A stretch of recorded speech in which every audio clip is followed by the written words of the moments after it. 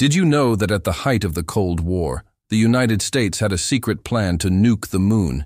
It sounds like something straight out of a sci-fi movie, but it was a very real, top-secret endeavor called Project A119. In 1958, with the space race heating up, the U.S. Air Force considered a radical idea to showcase its power. The plan wasn't for scientific research or to fight an enemy in space. It was a cosmic fireworks display, a show of force designed to be visible from Earth.